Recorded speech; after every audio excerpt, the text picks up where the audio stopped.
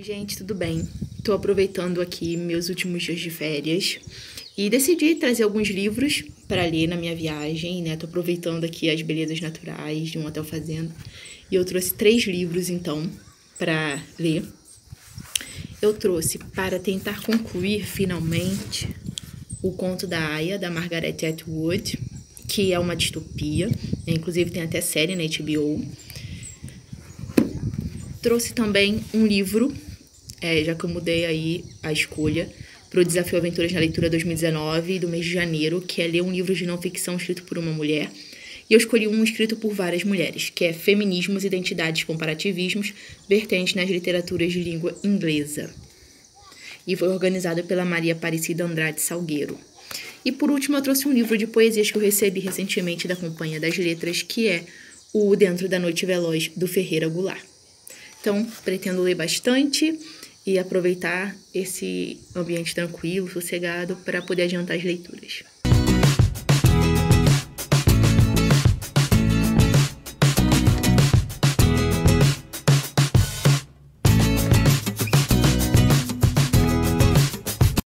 Estou aqui aproveitando essa vista para poder ir adiantando bastante as minhas leituras. Então vou parar um pouquinho aqui para mostrar para vocês o que eu estou lendo. Eu esqueci de falar que no Kindle eu estou lendo O Estrangeiro do Albert Camus. Estou gostando bastante, é uma leitura bem densa, bem reflexiva, né? A princípio você começa a ler, a ler, você pensa que é algo simples, mas não, é de uma profundidade tamanha. E eu tô gostando bastante, eu já devo estar em quase 60%. E continuo com a leitura daqueles livros que eu mostrei para vocês é, no vídeo anterior.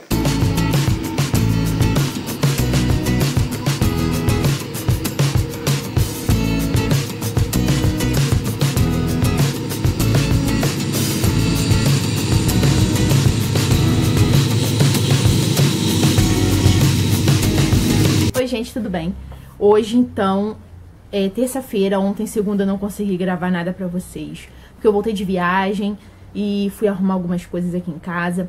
Mas hoje, então, eu passei na caixa postal, tem algumas coisas para mostrar pra vocês aqui. E eu também queria falar que eu, junto com dois amigos, iniciamos a leitura do Crime do Cais do Valongo da Eliana Alves Cruz. Então, eu, a Josiane e o Marlon. A Josiane frequenta o clube de leitura aqui da minha cidade também. É uma grande incentivadora para eu continuar com aventuras na leitura. E o Marlon também, que além disso é escritor. E a gente então foi no Litera RJ. O Marlon é um dos organizadores. O Litera RJ foi um evento que aconteceu no sábado passado. É, na Biblioteca Parque Estadual e a gente encontrou a Eliana Alves Cruz lá, que participou de uma mesa, numa roda de conversa. Né? Então, esse livro está autografado. E a gente, então, iniciou ontem a leitura desse livro. Depois, então, eu venho falar para vocês um pouquinho do que eu achei. E eu tô aqui com alguns pacotinhos que eu peguei na caixa postal para abrir com vocês. O primeiro é esse daqui, muito especial, fiquei muito feliz quando eu vi, que é de uma inscrita aqui do canal, Ana Paula. E eu tô bem curiosa para saber o que, que a Ana Paula me mandou. Ai, gente, que graça todo cuidado para não rasgar.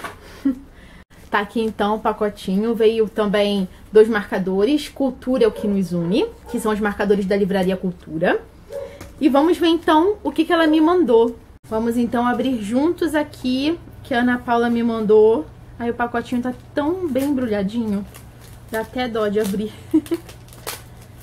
Ai, gente, a Ana Paula deixou um recadinho pra mim que eu li. E eu vou guardar com muito carinho. E ela me mandou então dois livros. Ela me mandou Paraíso São os Outros, do Walter Ugumãe. Que inclusive eu falei que é um escritor que eu quero muito conhecer esse ano. Então, essa edição tá linda, inclusive. Dourado aqui na, na lateral. Muito obrigada. E outro livro que estava na minha lista de desejados há um tempão que é o Morreste-me, do José Luiz Peixoto. O livro que revelou né, o José Luiz Peixoto diz assim: é uma obra tocante e comovente. É o relato da morte do pai, o relato do luto, e ao mesmo tempo uma homenagem, uma memória redentora. Então, assim, eu acredito que vai ser uma leitura que eu vou fazer ainda agora, nesses últimos dias de férias, porque eu sempre tive muita vontade, é um livro bem curtinho. Então, Ana Paula, mais uma vez, muito, muito obrigada, de coração. Gostei muito e pode ter certeza são duas leituras que eu vou fazer logo, logo. Aproveitando que eu tô nesse momento de unboxing, eu vou abrir com vocês essa caixona aqui que eu resgatei também lá na tag, com os créditos de quem assinou a tag utilizando o meu código. Então, gente, caso vocês queiram assinar a tag Experiências Literárias, é só utilizar o meu código, que eu vou deixar o link aqui embaixo. Ganha 35 reais pra gastar na lojinha. E eu também ganho, né? Então, eu fui juntando, juntando, juntando e consegui resgatar aqui algumas coisinhas. Mostrar pra vocês. A primeira coisa que eu resgatei é a Cobag, do Sejamos Todos Feministas, que eu tava de olho nessa Ecobag. O material é bem bom, bem resistente. E como vou começar, voltar a trabalhar agora, né?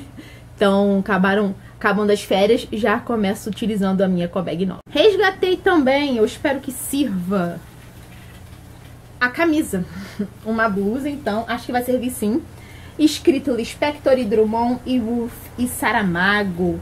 Então, provavelmente eu vou tirar uma foto com ela e posto no Instagram. Então, me sigam lá, arroba Aventuras na Leitura. E resgatei também, consegui resgatar mais três livros, sendo que dois são pra mim e um pra presente. Então, eu resgatei lá, que inclusive é item novo na lojinha. Trilogia do Adeus, do João Carrascoça.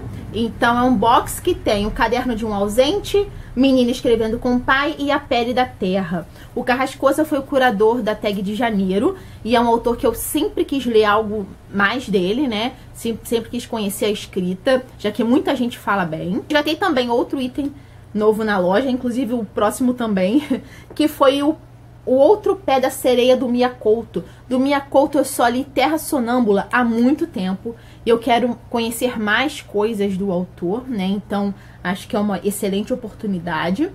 E me acompanha lá no Instagram que eu vou falar mais detalhadamente sobre esses livros. E por último, Shiro, que é uma HQ da Darkside que eu, na verdade, peguei para o meu noivo, que gosta muito de cultura japonesa, cultura oriental, enfim. Então, esse daqui vai para ele. Eu tinha falado que eu quero que ele leia mais, então uma forma de incentivá-lo a ler é dando coisas para ele ler que ele curta, né? Então, acredito que ele vai gostar bastante. E é isso, gente. A gente se vê então daqui a pouco em mais um pedacinho do vlog aí falando das minhas leituras. Tchau. Gente, tudo bem? Então, hoje é quinta-feira, dia 31 de janeiro. Eu acho que eu não gravei ontem, quarta. É, porque tô no ritmo de volta às aulas, né, no trabalho, então tô organizando tudo aqui em casa. Vocês têm que ver como está a mesa do meu escritório. Tá uma bagunça. Só tem livro, coisa de escola, estojo, lápis, que eu tô separando o que, que eu preciso comprar, né? Eu vou hoje na papelaria. Preciso separar, o, preciso pensar no que eu vou comprar e no que eu já tenho, não preciso comprar, né? E eu sempre faço isso e eu deixei pra última hora. É, fazer o quê? E hoje eu vou adiantar, vou fazer algumas coisas também pro primeiro dia de aula, que eu sempre costumo fazer. Mas eu vim aqui não para isso, eu vim aqui para falar, é, para mostrar para vocês o que eu consegui ler nesses últimos dias. Né? Ontem eu li muito pouco, porém eu consegui terminar O Estrangeiro, do Camus.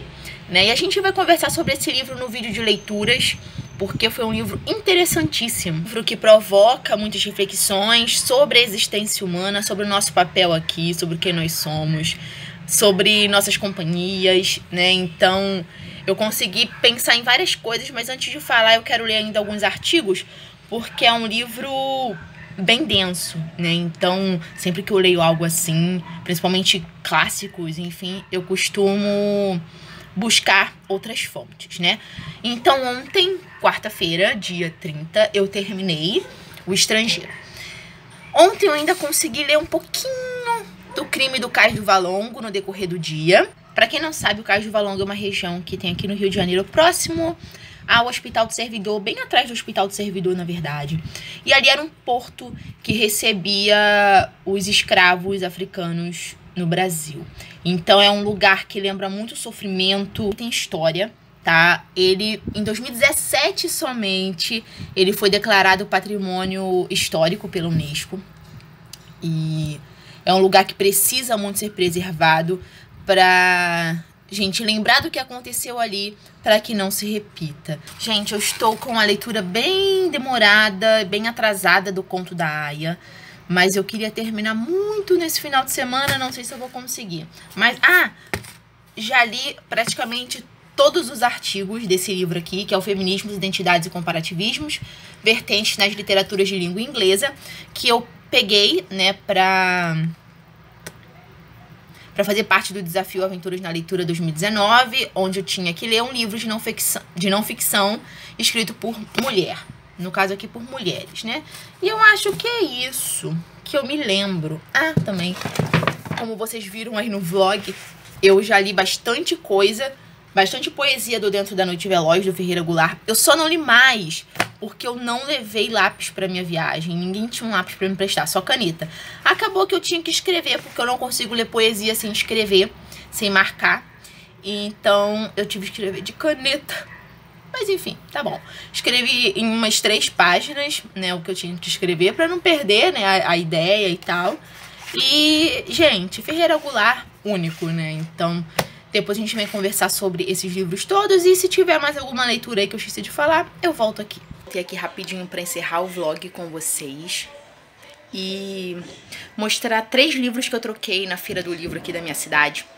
Só um detalhe, né, que me incomodou bastante, que eu levei vários livros interessantíssimos para vender, na verdade. Eu não iria trocar porque já tem muito livro aqui e eu não tava com tempo para escolher, então eu iria vender.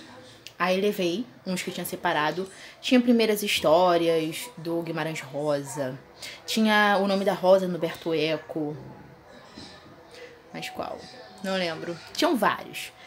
Vários não, tinham seis. e muito interessantes, livros bons, em bom estado, né? Que eu não coloquei para vender no Instagram porque eu queria é, ver como seria vender na feira do livro aqui que tá tendo na minha cidade.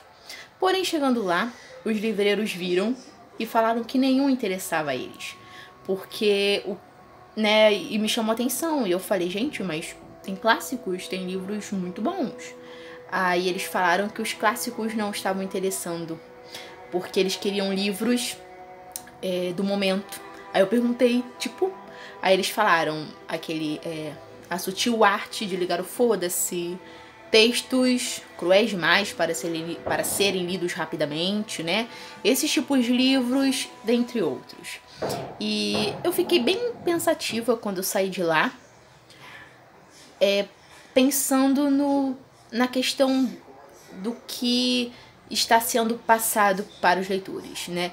Não, não entro em questão de preconceito literário, óbvio, né? Mas por que, que os clássicos não podem interessar ali numa compra? Edições boas, bonitas, né? E depois eu aproveitei e falei que eu tava vendendo alguns da Kozak Naif também. E ele também falou que não interessa porque são clássicos, são livros de grandes escritores e que ele queria os livros do momento. Então, para não perder a viagem, né? Porque eu levei seis livros, eu não ia voltar com seis livros para casa. Eu perguntei para ele se eu poderia trocar.